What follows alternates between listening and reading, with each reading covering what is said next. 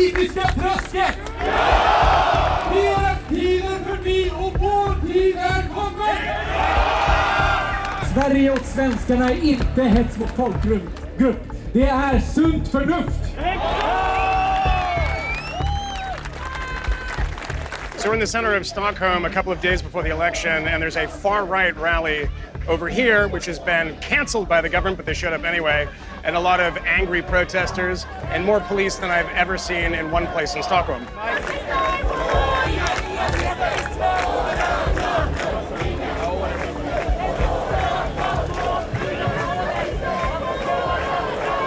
The overlap of all the people here and the Trump agenda, people talking about Trump on stage, wearing Trump hats, using Trump slogans everywhere. I mean, this is kind of the Swedish mirroring of the alt right, and they love Donald Trump.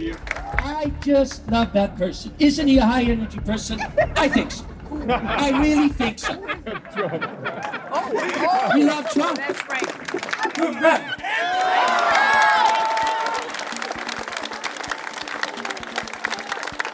not about Sweden itself. The next elections in Poland are not about Poland. It's all about Europe.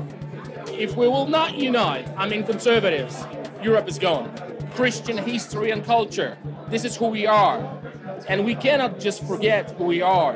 It's, it's just madness. It's the cancer of 21st century.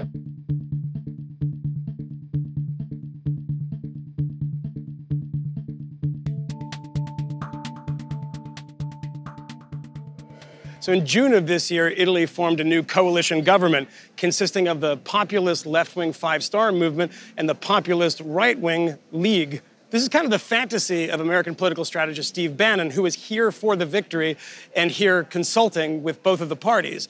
It's a melding of what he always wanted the Bernie Sanders left and the Donald Trump right, both populists from different poles together in one big coalition.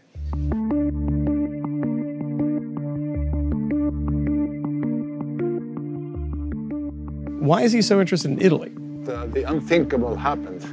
The unthinkable was that two so-called populist parties could uh, win the elections uh, and could, could run the country together. This can be an example for all uh, other people in uh, other countries in Europe.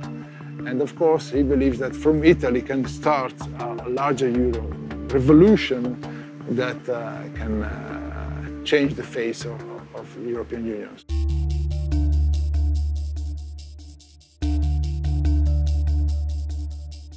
What is the movement?